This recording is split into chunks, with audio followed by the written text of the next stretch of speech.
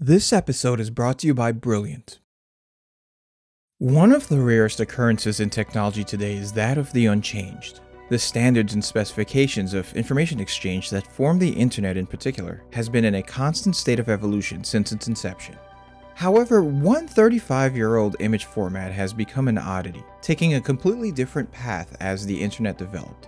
The graphic interchange format, or GIF, has remained technologically stagnant for over three decades, predating the modern internet and yet still remaining popular today thanks to a dramatic social evolution of its use. GIF was introduced in 1987 by CompuServe, America's first major commercial online service provider. CompuServe had first started offering dial-up online information services to consumers in 1979, and by the early 1980s, advances in modem speeds processing power, and the introduction of their CompuServe B file transfer protocol had now allowed for the exchange of graphics on their platform. This also opened the door to CompuServe's eventual transition to a GUI-based interface. At the time, access to most online information services were billed by time, and for graphics to be exchanged cost-effectively and within a practical transfer time, the service required a method to reduce the memory requirements of informationally dense graphical data. CompuServe software engineer Steve Wilhite was tasked with leading the team to solve this problem. The mainstream availability of color computer graphics in the early 1980s was a relatively new development at the time, and due to memory costs and the limitations of memory access, methods to reduce the number of bits that represented a pixel were needed. In the vast majority of color graphic systems, an additive color space based on the RGB model is used. In this model, a color is defined by chromaticity coordinates of the red, green, and blue additive primaries. In modern graphic architecture, 8 bits are typically used to quantify each chromaticity coordinate, with 24 bits in total representing 16.7 million possible colors per pixel. Storing 24 bits of data per pixel, even at the lowest usable pixel densities, would easily overwhelm, if not exceed, the memory capacity of most systems of the time. Because of this, the concept of a palette or color lookup table was introduced. A palette is a data structure that contains an indexable lookup table of chromaticity coordinates. In this mechanism, each pixel of the image data is defined by a palette table index, where its color data can be found. The number of color definitions within this table determine how many simultaneous colors can be used within the image, and inherently, how many bits are needed to define each pixel. A 2-bit per pixel image, for example, can reference 4 color definitions within a palette, while a 16-bit per pixel image can reference a little over 65,000 unique color definitions. Wilhite's team opted to use a variable bit depth palette scheme for the GIF specification, allowing for as little as 2 bits and up to a maximum of 8 bits per pixel for palette color referencing. This allowed low color count and monochrome images to significantly reduce their memory requirements by limiting the palette size.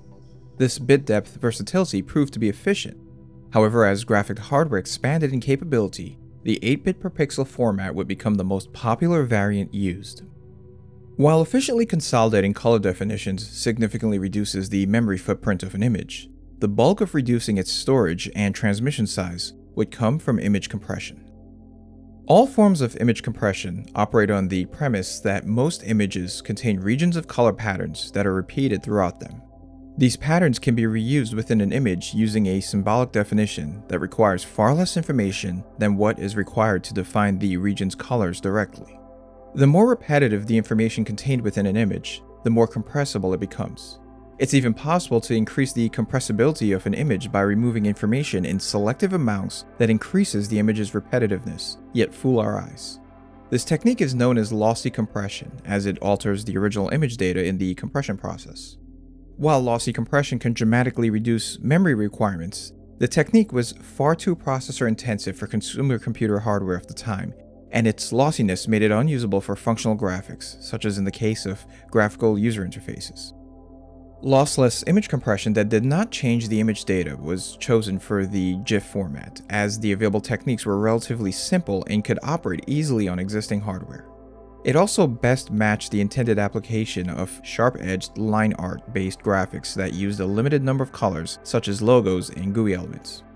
At the time, most early image formats that used compression relied on a simple technique known as run length encoding or RLE. This lossless technique stored image data as a color definition paired with a count. This allowed long runs of similar pixels to be compressed into one data element, and it proved to be most efficient on image data that contained simple graphics, such as with icons and line drawings. However, run length encoding would have the opposite effect on images that lacked long runs of color. Because of the overhead of the counting mechanism, more memory is required than the original image in such cases, making the technique unusable for more complex images.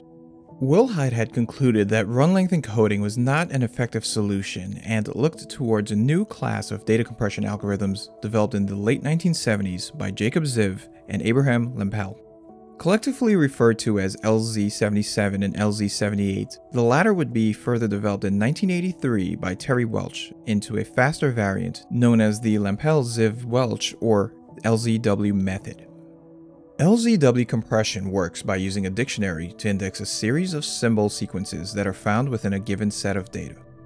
This dictionary also contains every possible individual symbol used within the data, and from this, the compressed output is created entirely from dictionary index references that can represent both single symbols and recurring symbol sequences, reducing the overall memory required to store the original data. A key characteristic of LZW is that the dictionary is neither stored or transmitted, but rather developed within the algorithm as the source data is encoded or compressed data decoded. In the encoding process, an initial code width size is established for the encoded data. Because a LZW code word is a dictionary index reference, its chosen bit width determines the dictionary size. Before encoding, the dictionaries initialized with the values of every individual symbol used within the source data. An 8-bit based data source, for example, would require the first 256 dictionary indexes to be mapped to each possible 8-bit word value. This inherently also requires the code width size to be larger than the bit width size of the source data. Typically, a 12-bit wide code word is considered the largest practical size for the process. The algorithm begins with first reading the first value from the source data stream and placing it in an index buffer. The algorithm's loop point begins with the next value from the source data stream being read and temporarily appended to the contents of the index buffer. This temporary value sequence is now searched for within the dictionary. If it's found, this temporary value sequence now becomes the contents of the index buffer. If the temporary value sequence isn't found within the dictionary, it is added to the dictionary at the next available index slot. The contents of the index buffer is then found within the dictionary, and its index is sent as a code word to the output code stream. The index buffer is then set to the value that was read from the source data stream. From here, if more data is available in the source data stream, the algorithm returns to its loop point. If there's no data left to encode, the contents of the remaining index buffer is found within the dictionary and its index code word sent to the output code stream, completing the final encoding. Decoding an LZW code stream is equally as simple to implement. A dictionary table matched to the bit width specification of the encoded data is first initialized in a manner similar to the encoding process. Because the encoding process always starts with a single value, the first code word read from the input code stream always references a single value within the dictionary, which is subsequently sent to the decoded output data stream. At this point, the decoding algorithm loop begins with the reading of the next code word from the input code word stream. The code is then checked against the dictionary to determine if it's mapped to a value sequence. If one is found, or the code word represents a single value, the referenced values are sent to the decoded output data stream. The previously decoded code word's value sequence is then combined with the first value of the current code word's value sequence and added to the next available index slot in the dictionary. If the read code word isn't defined in the dictionary, then the previously decoded code word's value sequence is then combined with the first value of its value sequence, and the resultant combination is both added to the next available index slot in the dictionary and outputted to the output data stream. In the GIF specification, the efficiency of LZW compression is further enhanced by the use of flexible code sizes. In a GIF file, two additional code words are defined for signaling a reset of the working dictionary and the end of the image data. This requires the bit width of a code word to be, at minimum, one bit larger than that of the image data. A GIF file can use dictionaries as large as 12 bits in depth. However, using 12 bits for every code word, especially at the beginning of the encoding process, wastes coding bits. By allowing the bit width of a code word to vary, unused bits can be eliminated. This is accomplished by starting the encoding process with the assumption that the bit width of a code word will be one bit larger than the image data's bit depth. This is the minimum needed to index every possible value of the image data, plus the control codes. Within the encoding loop, as the dictionary grows beyond the limits of the current code word capacity, another bit is added to the code word bit width to accommodate this expansion. This is done until a maximum width of 12 bits is reached and the dictionary is full, at which point a clear code is used to reset the dictionary, resetting the encoding for the remaining data. When the codes are decoded, the same bit width expansion rule must be followed to match the encoding process. The starting code word bit width used by the encoder is defined within the image data of the GIF file.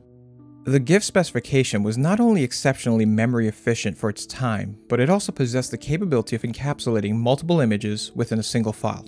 Wilhite's team had originally envisioned the format to be structured as a single canvas in which each image contained within the file would be attached to a logical image montage. Within the format structure, the canvas size is defined globally along with an optional global color palette.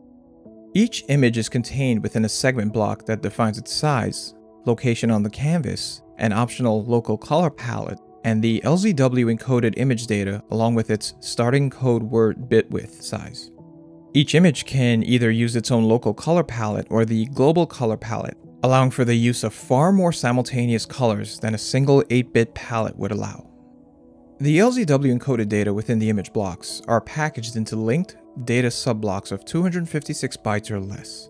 This allows for decoding to begin before the contents of the entire file is available. Beyond image data, the standard also contains a mechanism known as an extension block. Extension blocks are a memory structure that allow for the addition of features in future versions of the GIF specification. These blocks look similar in structure to image data, containing a definition element followed by linked data subblocks. Extension blocks have no direct overlap with image data blocks, and it was possible to produce an image without them, allowing for backwards compatibility of the format as it evolved. The original version of the GIF specification, 87A, was introduced by CompuServe on June 15, 1987. It was such a success on their platform that two years later, an enhanced version would be released called 89A. Several new features would be incorporated as extension blocks, including the ability to store application specific metadata, support for text caption overlays, and embedded comments. While most of these enhancements would see little use, one feature in particular, the graphic control extension, would transform the image format by adding support for transparency and animation capabilities. The graphic control extension allowed for the designation of one of the palette references as a transparent background color, effectively making that pixel invisible. This permitted images, like logos and interface graphics, to be easily overlaid over existing on-screen graphics. The graphic control extension also took advantage of the format's ability to store multiple images with the introduction of basic animation through the inclusion of a delay time value and a disposal method bit field. The delay time specified a screen hold time in hundredths of a second for the image block that immediately followed the graphic control extension block. This was used in conjunction with the disposal method bit field, which specified how the image was removed after the delay. In 1995, full animation loops would be solidified as part of GIF files with the introduction of Netscape's GIF application extension block. This extension added the ability to control the animation loops, and the popularity of its use grew directly from its support by Netscape Navigator 2.0, the first commercial web browser. Upon its release, CompuServe had provided conversion utilities for IBM's, Macintosh 2s, Atari ST's, Amigas, Commodore 64s, and Apple II GSs. This encouraged the rapid adoption of the format and with Netscape support, ultimately led to it becoming the dominant image standard of the early internet. However, despite its success, GIF had a fatal flaw that would become the downfall of the format. The LZW algorithm that powered the format was under patent since 1983 and had its ownership transferred to a company called Unisys Corp in 1986. CompuServe had been unaware of the patent until 1993, when Unisys would affirm its ownership and enter into a licensing agreement with CompuServe. By December of 1994, Unisys announced they would be charging a 0.45% royalty on software that used the algorithm, including several formats such as TIFF and PDF, but most notable, GIF. While Unisys only targeted large companies to buy licenses, developers still felt that the patent was a threat. This would directly lead to the development of the Portable Network Graphics format in 1995. Ping was intended as a replacement for GIF that avoided LZW compression altogether. It had the advantage of offering better compression and color capacity over GIF, as well as true transparency support, though it took till the turn of the century for it to supersede GIF's dominance on the internet. By 2004, Unisys's patent would expire globally, though by then, GIF images were largely phased out, especially since other file formats were more effective when it came to static images. The advent of browser scripting and streaming video also largely replaced its functional motion graphic capabilities. However, there was one void that no other technology had fulfilled, even long after GIF's fading from the internet. The short, efficient, continuous, soundless loops of animated GIFs could convey nuanced emotions in ways that no other format could. Several projects have even quantified the emotions felt from large pools of animated GIFs, with some of the more popular animations being unmatched in their accuracy of emotional intent. Unlike most other technologies, GIF created its own need instead of fulfilling an existing one. By the 2010s, GIF had re-emerged on the internet as the de facto format for emotional cueing, its newfound popularity would be fueled by several search engines, such as Giphy and Tenor, that explicitly tied them to emotional intent. GIFs are also protected from copyright claims by Fair Use Doctrine, which protects copying material for limited and transformative purposes. In May 2015, Facebook began to support animated GIFs, with most other messaging services, including mobile based platforms, following suit within a year. By 2019, search engine Giphy had estimated that over 10 billion GIFs are served up daily. The clever image format, designed to transmit simple graphics over slow modem speeds in the 1980s, has now transformed itself into a contemporary cultural icon. The LZW algorithm found within GIF is one of a handful of compression techniques that directly shaped how we share information. From simple and efficient data encoding methods to the massive and bewildering systems that power search engines, algorithms run our world. With Brilliant, building an understanding of the structure and processes of algorithm design has never been easier. Brilliant is my go-to tool for diving headfirst into learning a new concept. It's a website and app built off the principle of active problem solving. Because to truly learn something, it takes more than just watching it. You have to experience it. With this in mind, Brilliant has been tirelessly revamping their courses to introduce even more interactivity, and with their recently updated Algorithm Fundamentals course, you can expect intuitive and interactive examples that allow you to make sense of these abstract concepts. With Brilliant, you learn in depth and at your own pace. It's not about memorizing or regurgitating facts. You simply pick a course you're interested in and get started. If you feel stuck or make a mistake, an explanation is always available to help you through the learning process. If you'd like to try out Brilliant and start learning STEM for free, click the link in the description below or visit brilliant.org forward slash newmind, and the first 200 of you will get 20% off an annual premium subscription.